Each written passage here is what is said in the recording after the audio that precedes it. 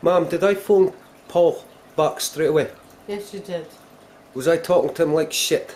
No, you didn't. Was I talking to him normal? Yes. Okay, thank you.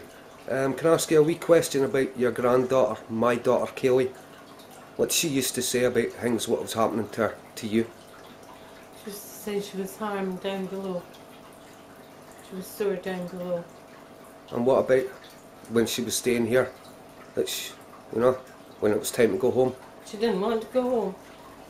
She She, used, she wanted to stay with you. and what she used to do? She used to cuddle into you and she wouldn't go. And what she used to scream? Yeah. She used to scream. She didn't want to go home.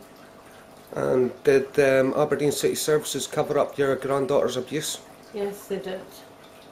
They did cover it up. What did um, Sheriff Buchanan do to you in court?